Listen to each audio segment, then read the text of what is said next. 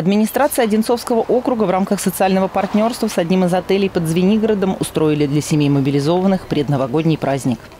Порядка 50 детей у нас заявлено. Мы сейчас ждем и встречаем вместе с волонтерами из нашей четвертой школы для того, чтобы а, праздник начался уже вот сейчас, непосредственно здесь.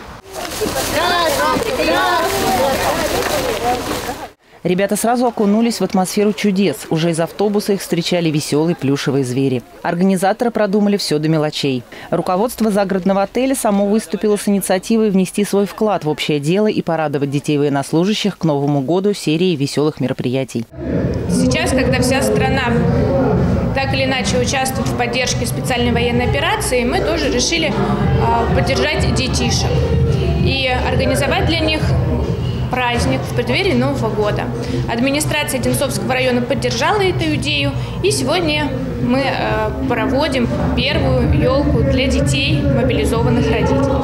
Вместо привычного новогоднего представления для юных зрителей решили устроить красочное интерактивное шоу со сказочными героями Дедом Морозом, Снегурочкой и Добрым Чародеем. Сюрпризом для ребят стало появление в компании привычных персонажей огромных инопланетных гостей – трансформеров. На каждой планете мы ищем команду защитников. Тех, кто сможет встать с нами плечом к плечу в войне против десептиконов.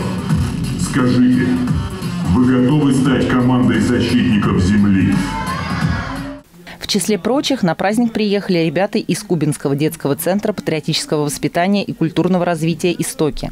Для руководителя центра Татьяны Борисовны подобные инициативы чрезвычайно важны, так как ее сыновья также исполняют долг Родине в зоне СВО. Мы испытываем вот эту поддержку от всех людей, которые нас окружают.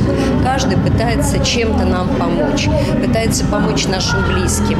Причем это не только взрослые, это и дети. Они пишут письма, э, люди собирают деньги, покупают вещи, необходимые нашим ребятам, передают приветы. И, конечно, нам, нам от этого тепло.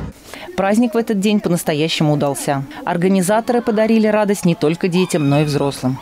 Полина Толмачева, Юлия Михайлова, телекомпания «Одинцова».